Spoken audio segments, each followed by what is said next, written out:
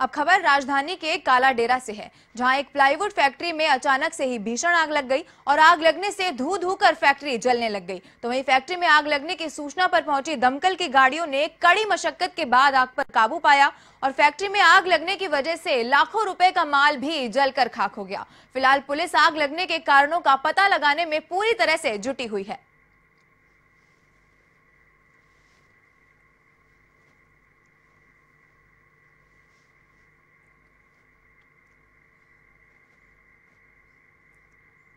देश और दुनिया की हर छोटी बड़ी खबर के लिए सब्सक्राइब करें एवन टीवी न्यूज़ साथ ही बेल आइकन को प्रेस करें ताकि आप पा सकें ताज़ा खबरों की नोटिफिकेशन